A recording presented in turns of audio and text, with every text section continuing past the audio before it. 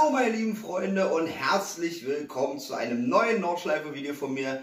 Leute, heute wird es richtig durchgeknallt, denn heute äh, teste ich ein Auto auf der Nordschleife aus einem Jahrzehnt, was für mich persönlich wahrscheinlich das absolut verrückteste und durchgeknallteste Jahrzehnt in der Formel 1 Geschichte war, und zwar in den 60ern.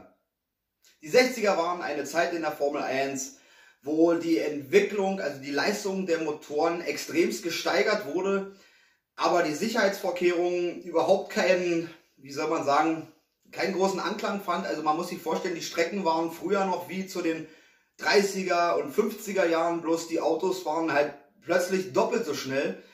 Und zu, äh, zu dieser Zeit kann man wirklich sagen, diese Autos waren wirklich motorisierter Selbstmord.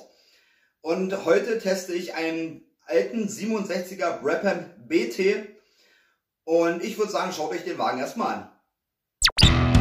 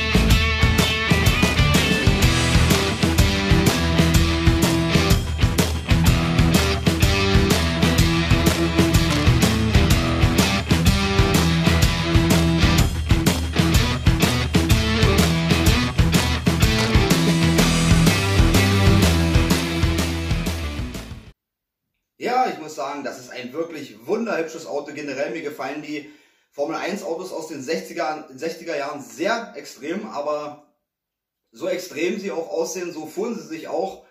Äh, und ich sag mal so, schaut euch einfach die Runde an.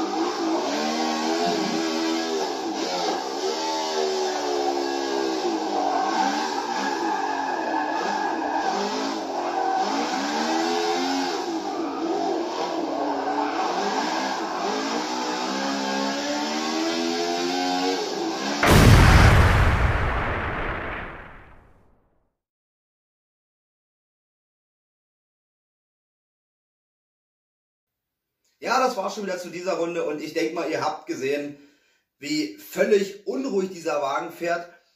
Kaum zu halten, weil keine Traktionskontrolle, kein äh, äh, äh ABS oder sonst was, kein Schnickschnack, wirklich das blanke, pure Auto mit blanker, purer Leistung. Also ich muss euch ganz ehrlich sagen, ich glaube, ich habe noch nie äh, vorher wirklich so üben müssen, eine vernünftige Runde auf der Nordschleife mit so einem Wagen hinzukriegen wie hier. Es war auch sehr frustrierend, weil ich ständig rausgeflogen bin oder ständig mich im Kreis gedreht habe oder irgendwas war immer und dann hast du eine Runde gehabt, wo es wirklich gepasst hat, wo du dachtest, geil. Und dann, wie dann zum Beispiel ein Galgenkopf, letzter Strick bricht er dir aus und du drehst dich und die Runde ist wieder dahin. Ähm, also für mich ist es wirklich unbegreiflich, oder was heißt nicht unbegreiflich, aber nur schwer vorstellbar, wie man damals mit so einem Wagen auf der Nordschleife Rennen fahren konnte und das über eine längere Distanz. Also da muss ich wirklich sagen, ziehe mein, äh, mein Cap äh, vor diesen Leuten, weil das erfordert dann noch richtig Mut und vor allen Dingen sehr viel Können. Äh, einfach Wahnsinn und äh, auf jeden Fall wird da auch noch ein Gegenstück dazu kommen zum Vergleich und zwar ein Lotus aus demselben Jahrgang. Aber das werdet ihr später sehen. Bis dahin würde ich erstmal sagen, bleibt gesund, meine lieben Motorsportfreunde. Bis zum nächsten Video. Ciao. Halt, stopp, stopp, stopp, stopp, stopp, stopp. ich habe ja völlig das Wichtigste vergessen und zwar, jetzt muss ich kurz gucken, äh, mit der 37, also mit der 7 Minuten 30 Sekunden 446 hat es der Brabham BT24 auf Platz äh, 5 geschafft und hat somit den Nobel M600 verdrängt. Und ich muss, wie gesagt, ich äh, sagen, ich freue mich dann natürlich auch auf den Lotus, weil die vom Jahrgang, glaube ich, gleich sind. Und welcher davon der bessere ist, das wird auf jeden Fall sehr, sehr lustig werden. Aber jetzt, meine lieben Freunde, wie gesagt, äh, hiermit ist jetzt das Video wirklich vorbei. Ähm, ihr könnt mir einen Daumen da lassen, wenn ihr das möchtet. Ihr könnt mir äh, ein Abo da lassen, äh, wenn ihr das möchtet. Und äh, wie gesagt, haut die Kommentarbox äh, voll, wenn ihr äh, was dazu zu sagen habt, ob ihr überhaupt jemals, also ich sage jetzt mal ganz ehrlich, äh, mal eine Frage an euch. Äh, Hättet ihr euch damals getraut oder sag mal, heute würde man euch sagen, okay, hier hast du so einen Wagen und fahr mal eine Runde damit, würdet ihr euch trauen, da einzusteigen und damit zu fahren? Ich persönlich, ich glaube, ich würde es nicht machen, weil das waren wirklich Autos, die haben mal ganz schnell, wenn du dich vertan hast, haben die dir mal ganz schnell dein Leben gekostet und ja. Aber wie gesagt, jetzt äh, Schluss mit diesem Video. Wie gesagt, bleibt gesund, meine lieben Freunde. Bis zum nächsten Video. Ciao.